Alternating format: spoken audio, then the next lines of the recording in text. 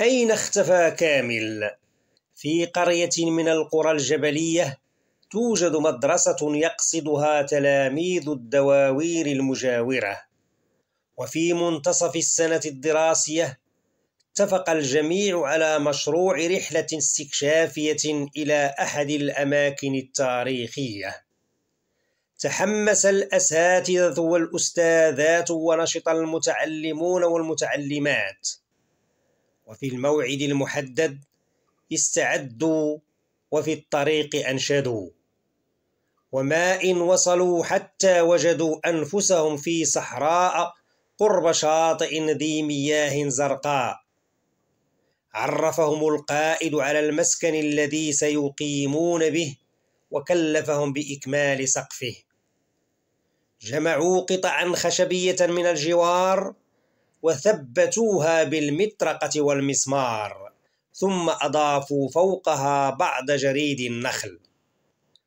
رأى القائد ما صنعوا وأثنى عليهم فتشجعوا. تطوع بعضهم لطهو الطعام لكنهم لم يجدوا ولاعة لإشعال النار. صاح حازم ما رأيكم إذا جربنا احتكاك الأحجار؟ أجاب كامل بافتخار. أنا من سيشعل النار؟ في المساء شكرهم القائد على المجهود الذي بذلوه في طهو الطعام ودعاهم إلى تنظيم أمسية فمثلوا مسرحية وغنوا أغنية. اتفق القائد مع كامل على لعبة تكون مفاجأة لجميع الأصدقاء.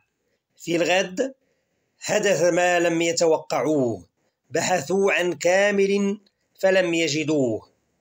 كون القائد مجموعات صغرى وشرع الجميع في البحث وهم حيارى إلى أن وجدته إحداها داخل كوخ خشبي.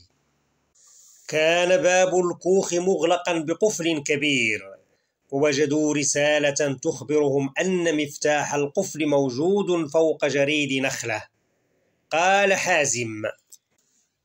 عن أي جريد نخلة تتحدث الرسالة؟